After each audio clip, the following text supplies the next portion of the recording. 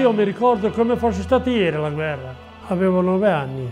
Quella volta eravamo noi quattro fratelli con mio babbo mia mamma e mia nonna. Nel mese di maggio ha cominciato il, il corso, il rastellamento dei civili. C'era un amico che abitava qui al mulino di sotto, con mio fratello più grande aveva fatto un buco nel un pagliaio, no? E poi si nascondevano lì dentro. A mezzogiorno sua moglie ha portato su da mangiare a suo marito. Sono usciti di fuori. Quando è venuto dietro la casa ha visto i tedeschi. È ritornato indietro. Gli ha detto i tedeschi, i tedeschi. Suo marito gliel'ha fatta entrare nel buco. Mio fratello non ce l'ha fatta. Uno col fucile e uno con la pistola gli avranno dato 30 colpi. Non l'hanno preso, per fortuna. Dopo è venuto giù, piano piano c'era il tabacco, un campo di tabacco.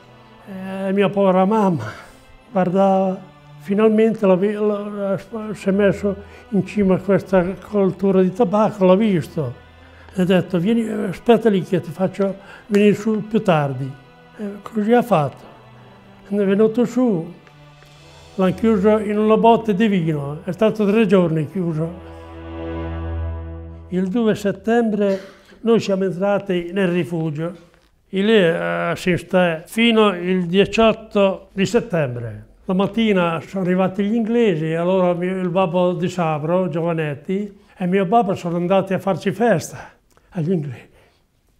Da Montescudo, col mitragliatore gli sparavano, gli inglesi hanno detto via, via, via, via.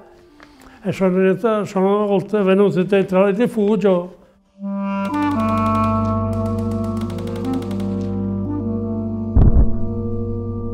Noi avevamo la farina, il vino, però quando siamo partiti abbiamo portato su poche cose dopo la mia nonna aveva i maiali, dopo sono arrivati gli inglesi, si, sono venuti a prendere, se l'hanno ucciso sotto a casa, laggiù.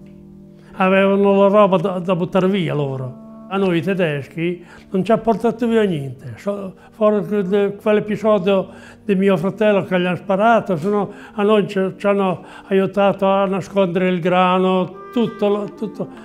Portato, sono arrivati gli inglesi e ci hanno portato via tutto. queste piane che vede questo terreno, adesso ci sono le fabbriche, qui era un camion attaccato all'altro, migliaia di camion. Mio babbo, eh, c'era un campo di erba medica sotto il rifugio lì. Passando lì mio babbo ha trovato con una coppia di pane tedesco, con una cintura, legato a una cintura. Mia povera mamma ce ne dava una fettina così. L'acqua, bevavamo l'acqua del, del, Conca. Nel bottiglione di sopra c'erano i cavalli, i muli, eh, rimanevano i vermi dentro, dentro la bottiglia. E allora la sera sono arrivati, facevamo la veglia nella stalla, sono arrivati a bussare alla porta, signorina, volevano, eh, c'erano 8-9 donne, signorina, signorina. Allora il babbo di mio cognato è andato al portone, l'ha aperto un pochettino, dice venite domattina.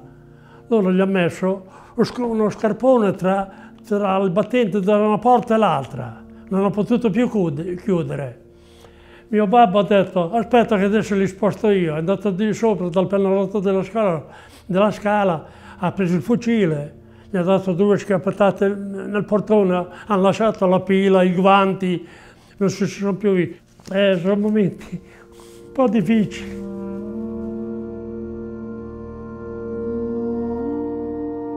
Io penso che è una, è una cosa, uno